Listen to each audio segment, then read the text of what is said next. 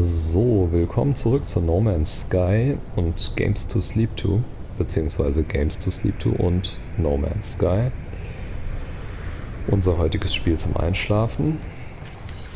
Wir haben zweimal versucht, vergeblich versucht zu livestreamen.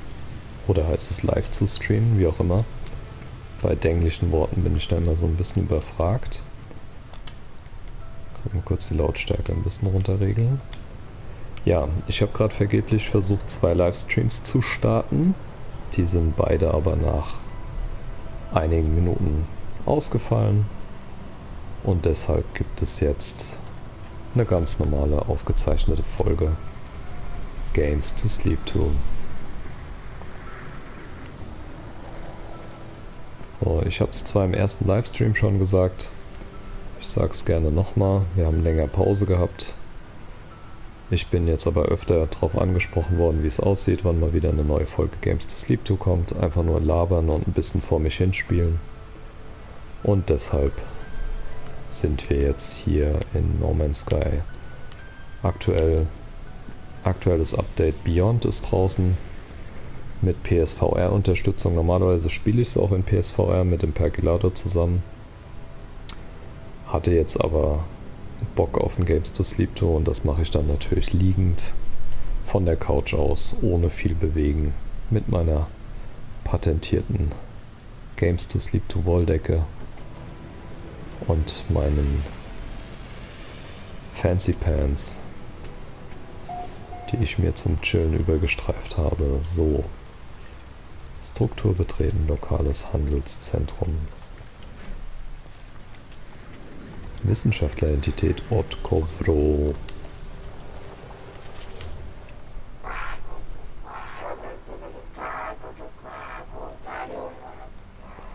Bedeutungslosigkeit wird bei der Konvergenz nicht geduldet, von Interesse aber nicht von Wert.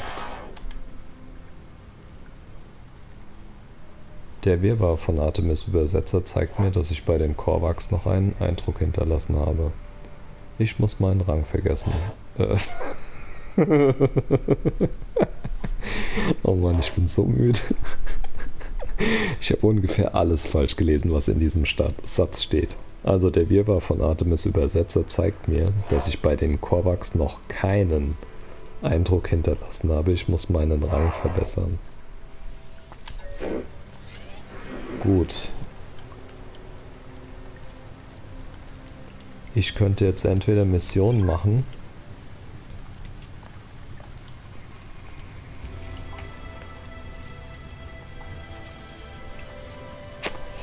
Ich könnte jetzt entweder Missionen machen oder halt den Außerirdischen einfach so viel Geschenke machen, dass mein Rang bei denen steigt. Kann man das beschleunigen? Ich mache das jetzt einfach so, ich gucke mal wie lange es dauert, um da Rang 1 oder was zu kriegen. Ich weiß nicht wie viel ich brauche.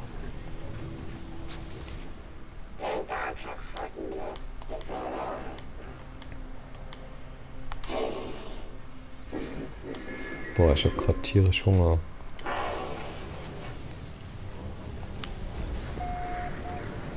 Wir haben aber, weil heute Kindergeburtstag war, eh nur Süßkram im Haus.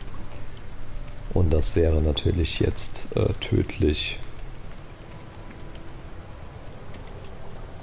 Kohlenhydrate zu essen.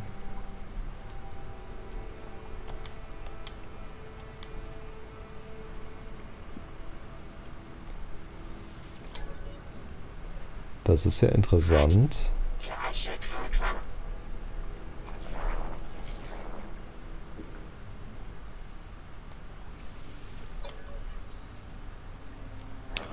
Es ist interessant, dass ich ihm jetzt keine Geschenke machen kann.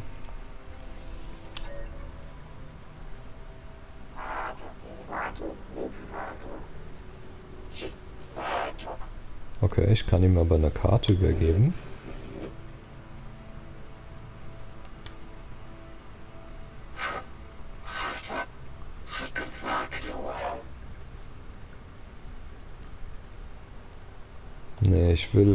Ich will ihn nicht vergrauen, indem ich ihm jetzt einen Fehler unterstelle. Ich gucke jetzt mal, ob das Einfluss hatte. Ah, ich soll in den Weltraum zurückkehren und Artemis kontaktieren. Das ist doch schon mal gut. Sind wir doch schon mal einen Schritt weiter. Hallo? Wir steigen in die Slave One und fliegen in den Weltraum.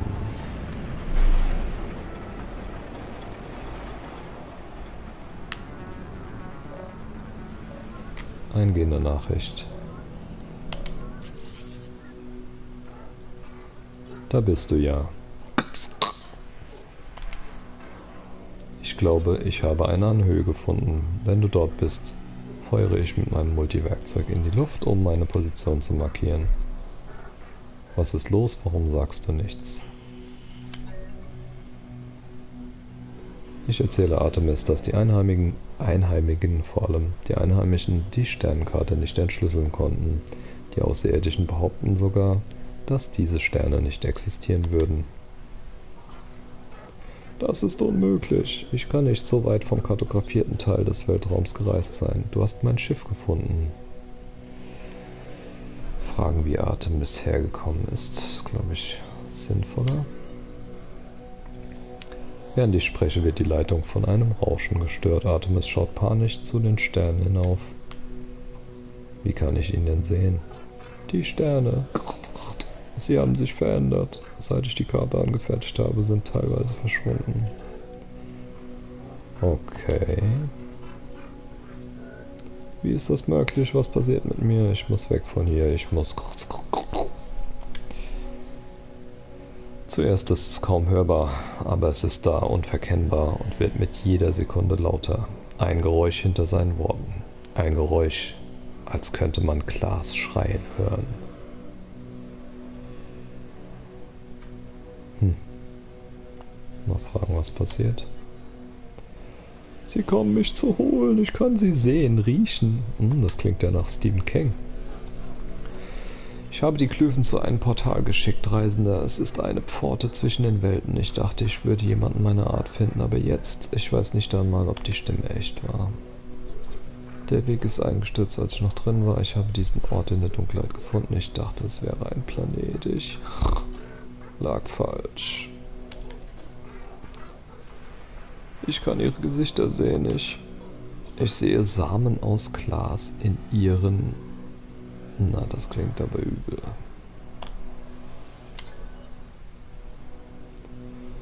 Sie sind weg. Meine Daten sind fragmentiert in... Ich wollte nur Welten entdecken. Ich wollte andere Reisende finden. Ich wollte nicht... 16 dein Gesicht getragen ist. Noch nicht, ich bin nicht. Das Signal bricht ab. Während es weiterhin knistert, höre ich einen Namen durch das Rauschen hindurch. Apollo. Mein Holoterminus wurde eine Frequenz für Apollo hinzugefügt.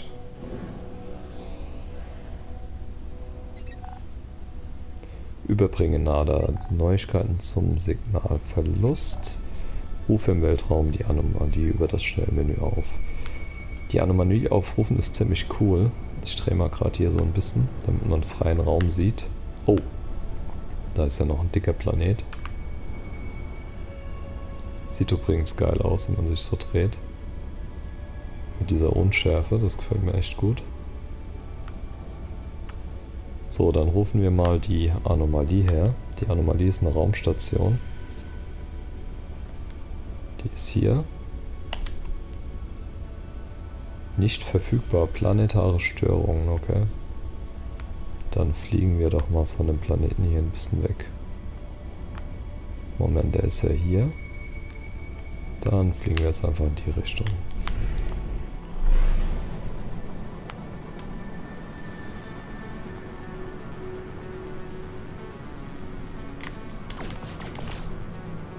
eigentlich durch die Dinge hier durchfliegen, ohne dass einem was passiert? Anscheinend. So, Weltraumanomalie herbeirufen.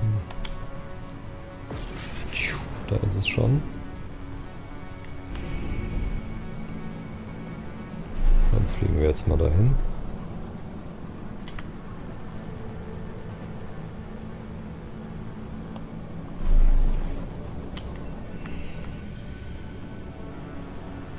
Sesam, öffne dich. So, und während wir hineinkleiden, muss ich mal was trinken.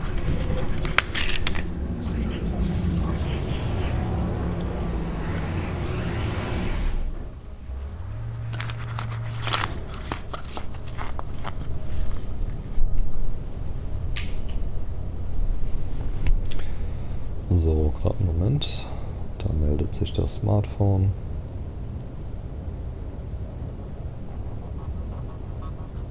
Oh je, 38 Minuten 47 Audio geschickt bekommen. Wann soll ich die denn hören? Am besten morgen früh. Auf dem Weg zur Arbeit.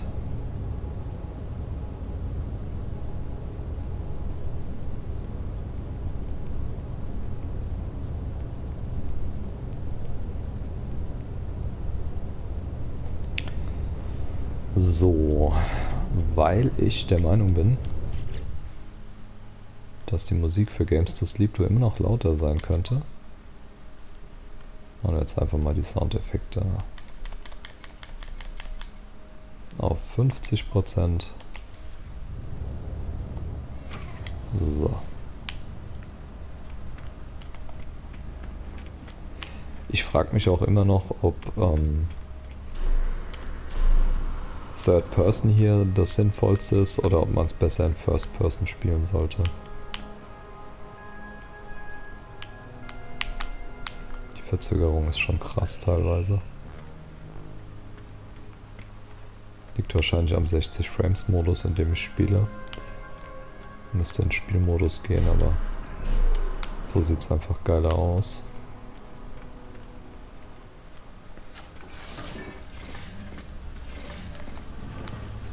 So, wo ist Artemis?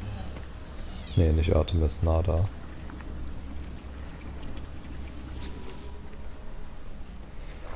Was hast du erfahren, Reisender? Was erzeugt das Signal der Artemis-Entität?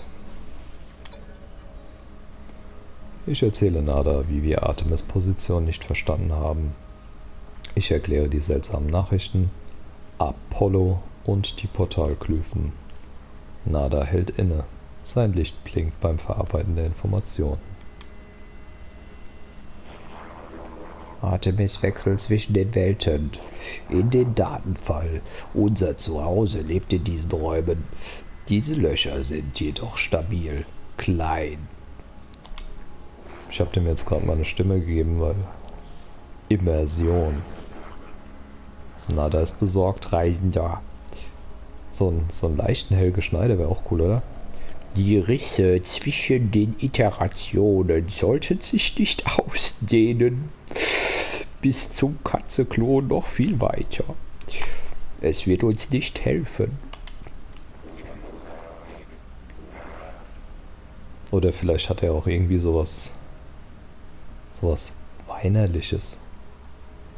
Erinnert sich die Artemis Entität immer noch nicht an Nada? Ey, ich sollte Synchronsprecherin werden. Das ist ein Rätsel, eine Falle oder eine Tragödie. Nada kennt die Apollo-Entität nicht. Sehr merkwürdig. Wenn reisende Entität neugierig ist, hat Nada einen Ratschlag. Der zügellose Blutrote ist das Werk der Atlas-Falschheit. Andere Korvax sagen, er sei eine Gottheit. Nada weiß es besser. Die falsche Atlas-Entität jagt Nada, aber Reisender könnte sie ausfindig machen und weglocken. Der Junge spricht in Rätseln. Spricht mit Polo und anderen Lebensformen an Bord der Anomalie. Polo hat Koordinaten für schwarze Löcher. Nee, das ist doch... Das ist doch eine ganz andere Mission.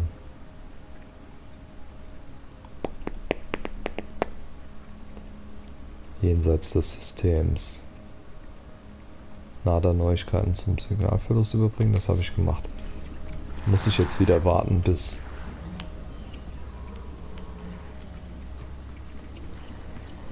bis die Mission erledigt ist. Das hat vorhin ja schon so lange gedauert.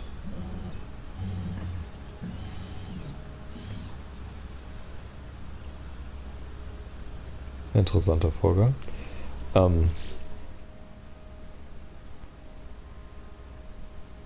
Achso, spricht mit Nada und Polo, also muss ich hier mit dem Golf auch noch reden. Äh, ich meine, Polo. Servus Polo, altes Haus. Na, wie ist es? Kommst du immer noch nicht mit dem Golf zurecht? Grenzen sind seltsame Dinge, reisender Freund. Die meisten Dinge bleiben, wo sie hingehören, andere Dinge, unser Zuhause Atlas und jetzt Artemis Freund bewegen sich dazwischen merkwürdig. So, dann fragt man nach den Portalen.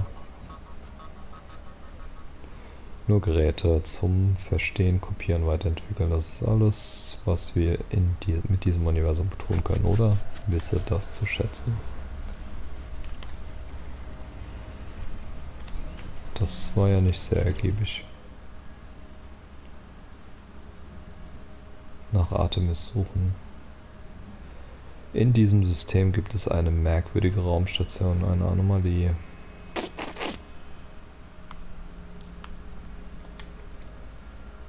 Ein Holo-Terminus lokalisieren und... Ah, okay. Ja, gut. Dann fliegen wir jetzt mal Dein Schicksal liegt im Jenseits zum Öffnen der galaktischen Karte.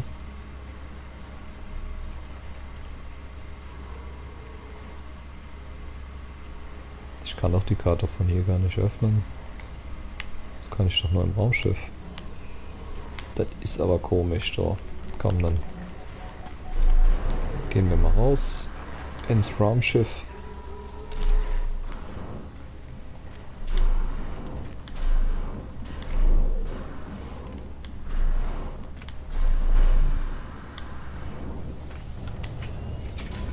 Und wir befinden uns an Bord der Slave One. Wir verlassen die Raumstation. Und dann können wir die Karte aufrufen. So.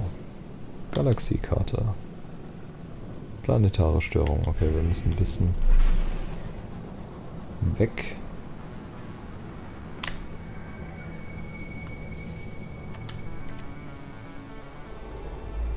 So, hier sind wir.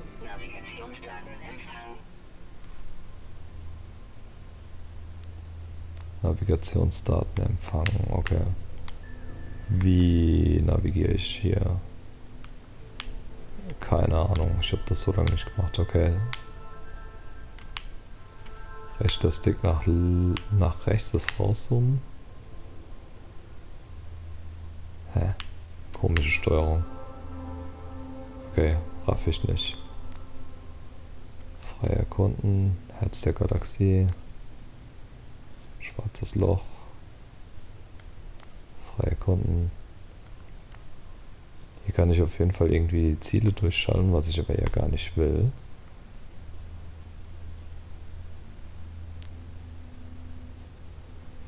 Auswahl des aktuellen Systems aufheben. Ah, jetzt kann ich mich bewegen, okay.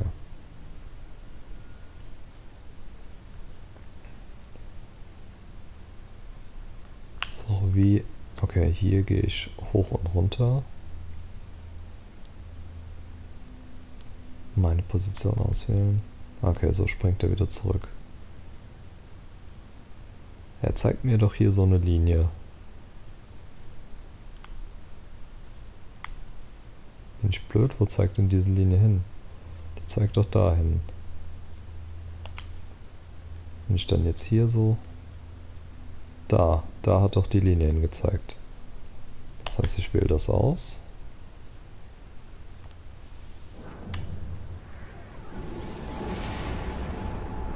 Ah, das ist ja komfortabel.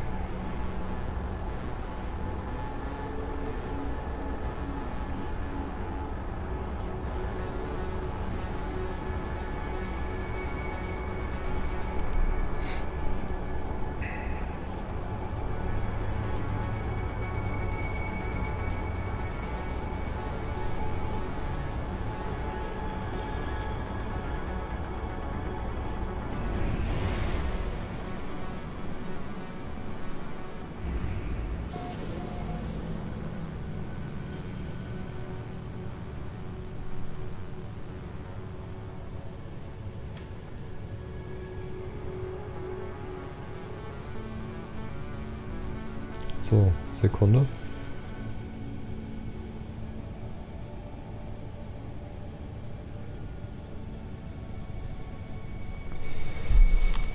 So, das schwarze Loch erreichen.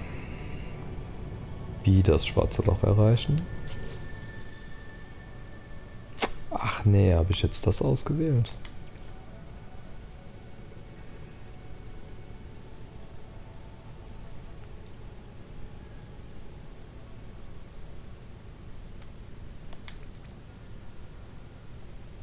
Achso, Scan mit L3 in der Umgebung.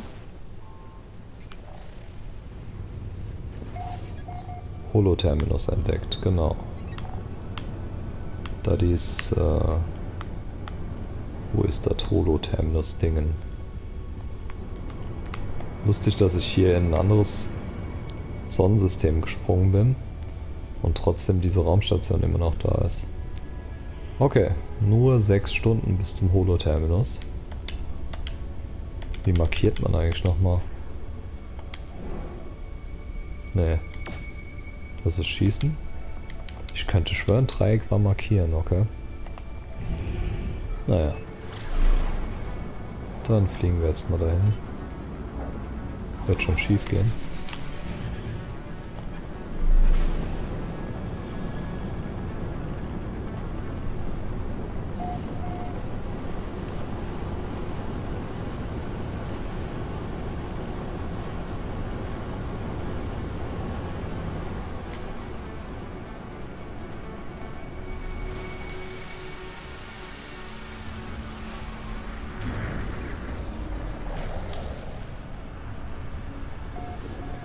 So, und da hat das Spiel endlich auch mal gespeichert. Und aus irgendeinem Grund geht meine Playstation gerade ab. Der Ventilator wird lauter, wahrscheinlich ist die Welt ein wenig ähm, ressourcenhungrig, um es mal so zu sagen. Sieht auf jeden Fall sehr, sehr geil aus. Vor allem diese Flora gefällt mir irgendwie gut, habe ich noch nie gesehen sowas. Mal gerade mal analysieren. Gibt ein bisschen XP. Und die Pflanzen auch.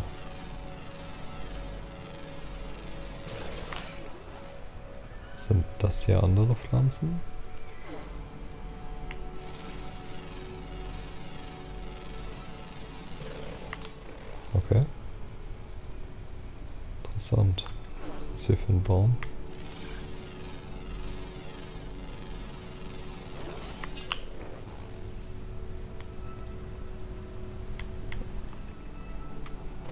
Lebensform. Und zu weit weg zum Scannen anscheinend.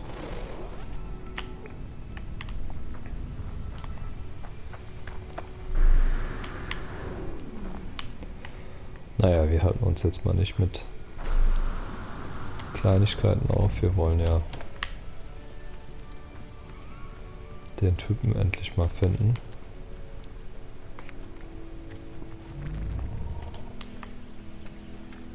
Ah, was war denn? Ich dachte, du gehst automatisch da die Leiter hoch, Junge. Das war jetzt so nicht geplant.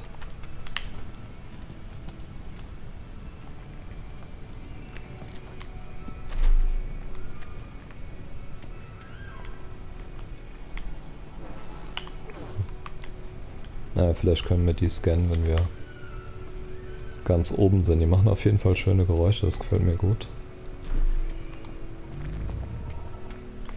Was ist das da, was ist das denn da hinten? Schwebt so eine Insel.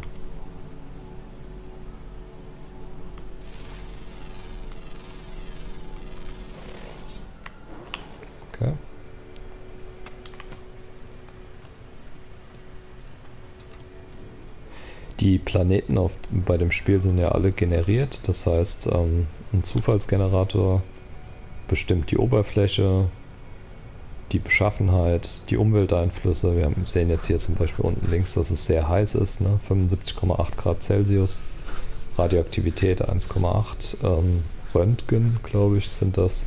und 18,4 toxisch. Das heißt, ähm, die Atmosphäre ist auch toxisch. Ähm, die Viecher, die hier rumfliegen, sind per Zufall generiert. Die Pflanzen sind per Zufall generiert. Und keine Welt sieht so aus wie die andere. Und auch die Namen, wie jetzt Otsniyalut Tau, also der Name des Planeten, ist auch per Zufall generiert. Also das finde ich halt schon geil. Und theoretisch könnte man jetzt hingehen. Achso, ne, da waren wir schon richtig. Könnte man jetzt hingehen und die Entdeckungen umbenennen und dann hochladen. Ich könnte jetzt dem Planeten meinen eigenen Namen geben. Ja, ich könnte jetzt hier sagen, ich mache jetzt umbenennen und nenne das Ding hier ähm, Schuriken wäre ein bisschen plakativ. Wir nennen das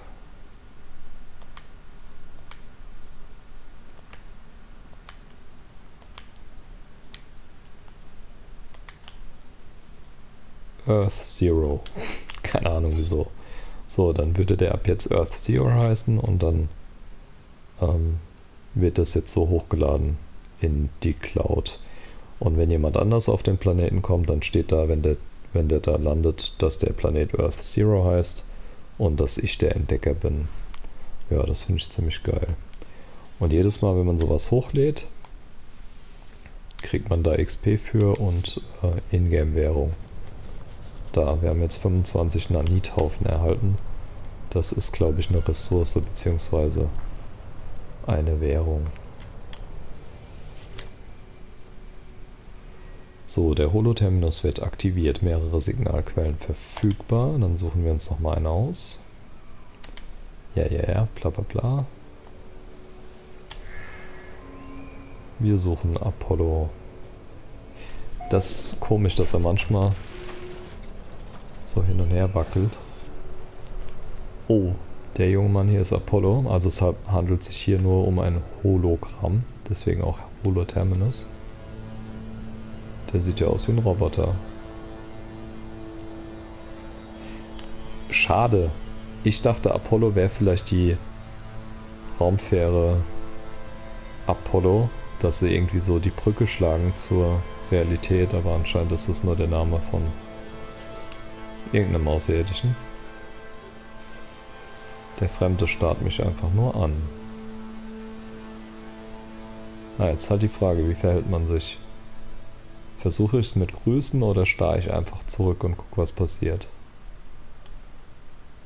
Wir benutzen die psychologische Taktik des Spiegelns und machen das, was unser Gegenüber macht.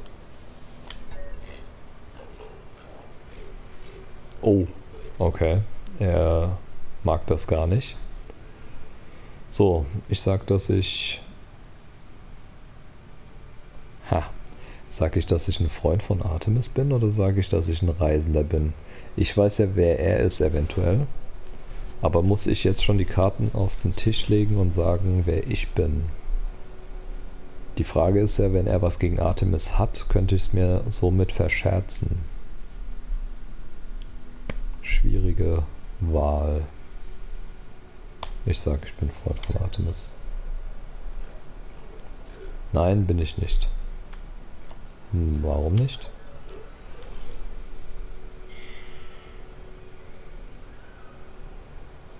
Boah, sehr gut. Das ist aber, das ist aber deeper Shit. Warum benutzt du dieses Wort überhaupt? Freund. Das ist nur eine Bezeichnung, ein Vorwand, damit man sich nicht mehr so einsam fühlt. hast du mich überhaupt kontaktiert? Steckt Artemis dahinter? Ich habe meine Meinung nicht geändert. Die seltsamen Träume sind mir egal. Ich treffe mich. Ich treffe mich, wenn ich dafür bezahlt werde. Okay, Artemis ist in Schwierigkeiten.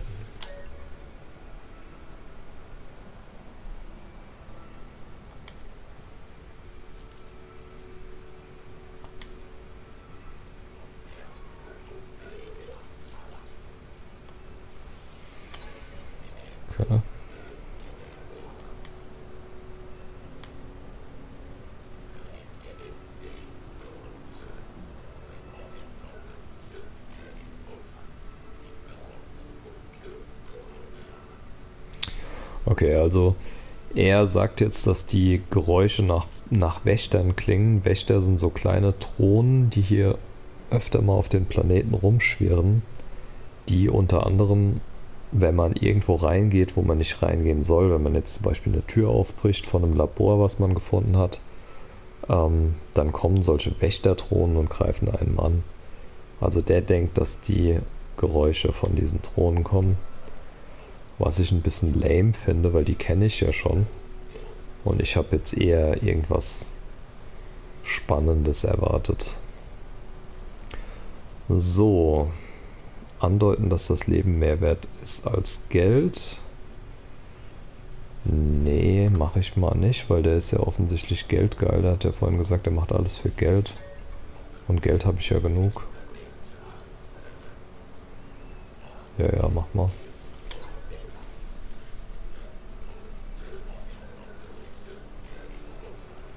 Ich schicke dich zu einem meiner Kontakte, er wird dich mit allem versorgen, was du brauchst. Na, das klingt doch gut. So, was sagt die Uhr?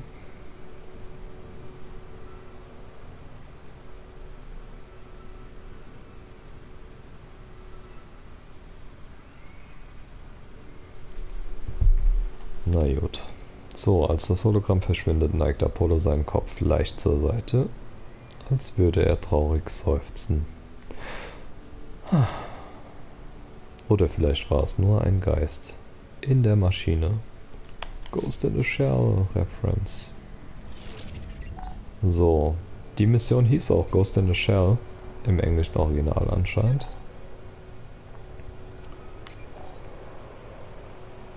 So, ich habe hier vorhin kurz vor der Landung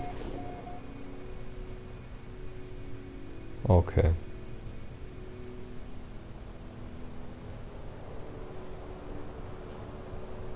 Apollos Kontaktperson wird mir helfen bei der Erweiterung meiner Basis. Ich habe hier vorhin, als ich gelandet bin, irgendwo Gebäude gesehen, aber ich weiß nicht, in welche Richtung das war. Kann es jetzt von hier leider nicht sehen.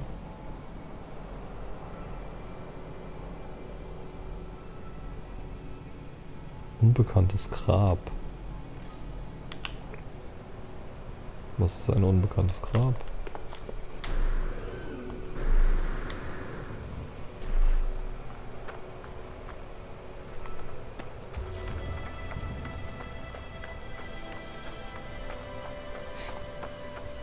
Was sind denn 8000 U?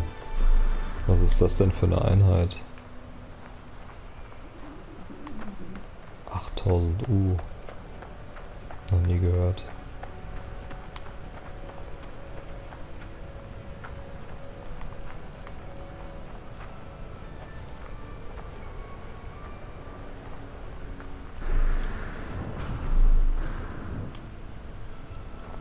Das ist so schade, dass ich nicht weiß,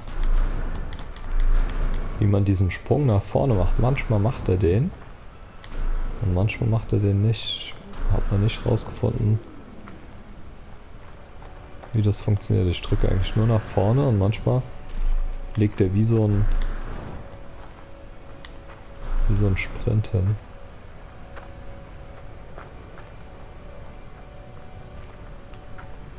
So, dann schauen wir uns mal das unbekannte Grab an.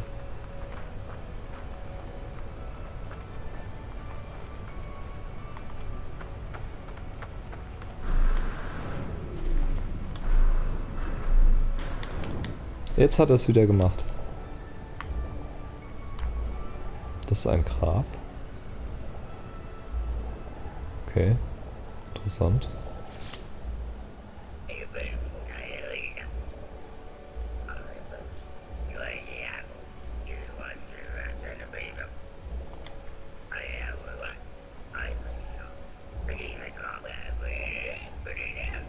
Okay, das finde ich ganz witzig. Der erwähnt jetzt auch die Wächter. Wahrscheinlich haben die ihn gekillt oder so. Das Grab des gefallenen Reisenden ist mit einer Glyphe markiert und mit irgendeiner Grabinschrift einer uralten Technologie.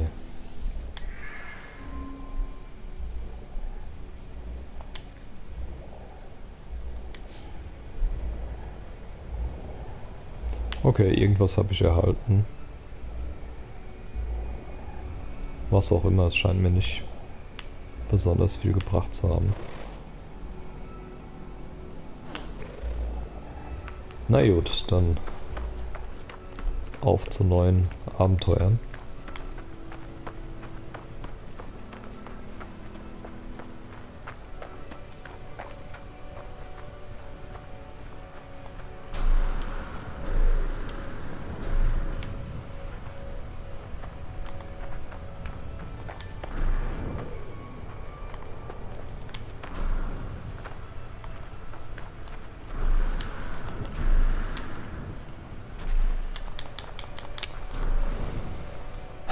Wüsste echt mal gern, wie das mit dem Sprinter geht. Macht's jetzt einfach nicht mehr. Pfeift mir was. Hm. Ich muss mir irgendwie zwei Sachen gleichzeitig drücken.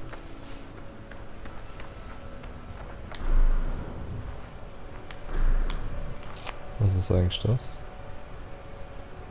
Hm. Ach so, das ist glaube ich, weil ich den hier gemacht habe den mit dem Scanner. Den kann ich jetzt nicht, weil er gerade aufgeladen wird. Aber ich glaube, dann zeigt er halt die interessanten Sachen an. Jetzt ist er aufgeladen. Jetzt kann ich draufdrücken und dann werden solche interessanten Orte da sichtbar gemacht irgendwie. Boah, mein Magen knurrt schon. Ich glaube, ich muss echt noch eine Kleinigkeit essen.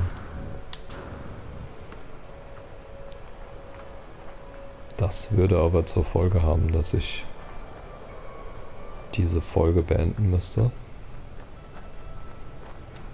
Weil ich mag euch da jetzt nichts vorkauen. Vor allem, weil es ein Games to Sleep to ist. Und da wird nicht gegessen. Das ist gegen das Gesetz. So. Wir fliegen jetzt mal kurz bis nach oben. Ich wollte mal gucken, ob ich diese Gebäude sehe. Was ist da vorne? Hm, ich glaube, das waren nur Felsen, das waren gar keine Gebäude, die ich da gesehen habe.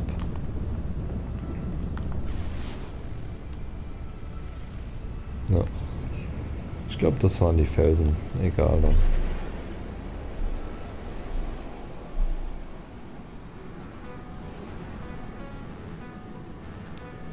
Nachricht der Raumschifflenkung? Moment. Was war das gerade? Irgendwas habe ich verpasst.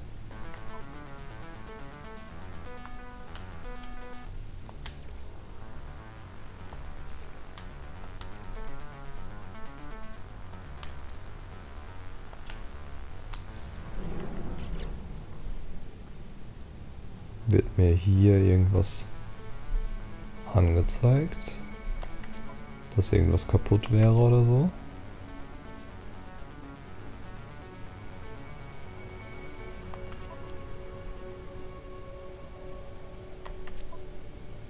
Ne, ich kann jetzt hier nichts ausmachen. Keine Ahnung, ich habe die Nachricht eben so schnell weggedrückt. Ähm...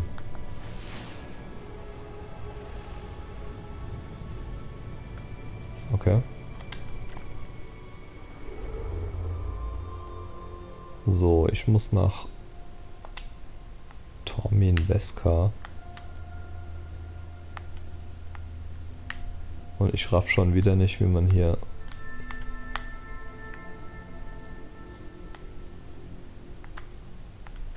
Ja, wieso lockt er das denn nicht ein, dieses Tormin Veska? Ist ein bisschen blöd. Da jetzt. Also man muss das schon genau im Ziel haben.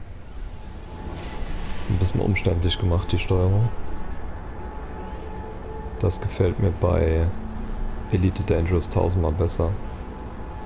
Da hat man nur diese schematische... Ne, man hat nicht nur die schematische Karte, aber man hat diese Galaxiekarte und wenn einem das zu stressig ist, kann man in die schematische Ansicht wechseln und dann hat man die Planeten so nebeneinander. Beziehungsweise kann man da ja auch über das Textfeld, das ist dann einfach so eine Tabelle, wo die Systeme aufgelistet sind. Oh, da ist ein sehr, sehr schöner Planet mit Ringen. Und hier ist ein sehr, sehr schöner erdähnlicher Planet mit ganz viel Wasser. Der würde sich vielleicht eignen, um da unser neues Hauptquartier hinzubauen. So, jetzt ist aber die Frage.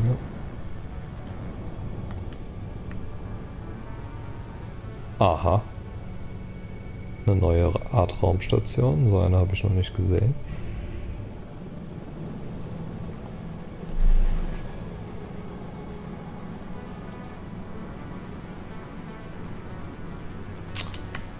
Dann würde ich sagen, wir machen das Gespräch noch mit dem Typen. Obwohl, wenn ich jetzt hier lande, wird, glaube ich, gespeichert. Ja.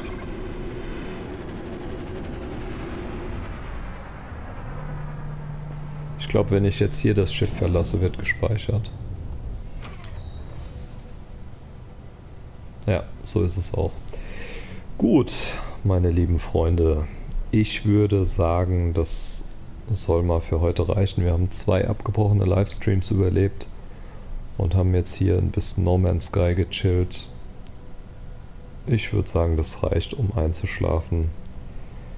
Ich werde versuchen, ich kann aber leider nichts versprechen, weil mein Schedule, wie der Franzose sagt, relativ vollgepackt ist in letzter Zeit ähm, kann ich es leider nicht versprechen, dass jetzt wieder regelmäßig Folgen kommen. Aber ich werde versuchen auf jeden Fall öfter ein bisschen was nachzuschießen als in letzter Zeit. Es war halt doch schon recht still. Und ich habe mir auf jeden Fall vorgenommen, mal wieder ein bisschen öfter was zu machen. Ne? Umzug ist jetzt geschafft. Es kehrt langsam wieder ein bisschen Ruhe ein. Mikro habe ich auch wieder gefunden.